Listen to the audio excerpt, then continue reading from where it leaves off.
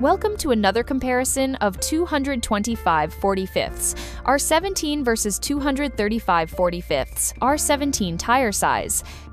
Today, we'll decode how this one-step width upgrade affects fitment, clearance, efficiency, comfort, and performance before you pull the trigger. Going 10 millimeters wider increases section width 0.39 inch, yet diameter only climbs 0.35 inch, so most factory struts, fender liners, and brake lines clear fine. Check spoke to caliper gaps and rear inner arch room on lowered suspensions too.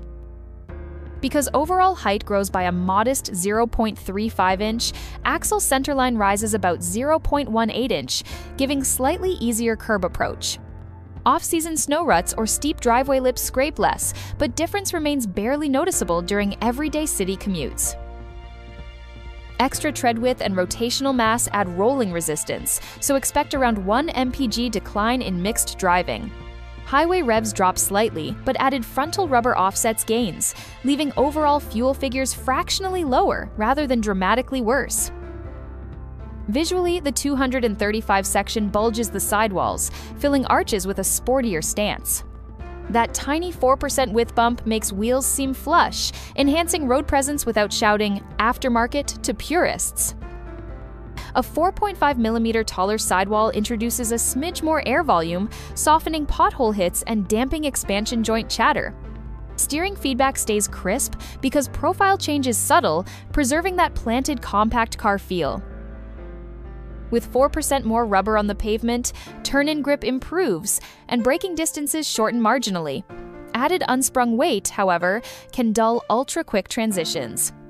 Enthusiast drivers will notice the front end tracks corners with about 1 10th G extra composure during spirited weekend canyon runs. Circumference increase means the cluster underreads by roughly 1.4%.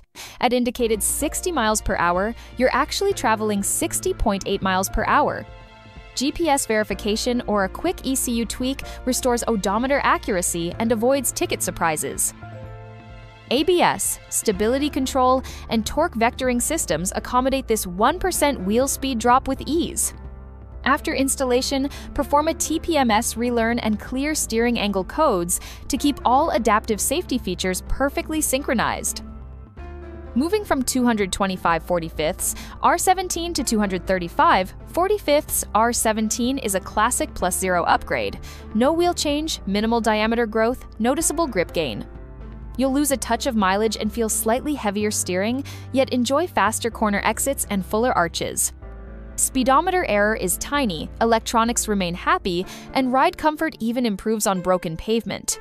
Measure caliper gaps, inflate to OEM pressures, and you'll drive away with a sharper, more confident setup well worth the modest cost difference.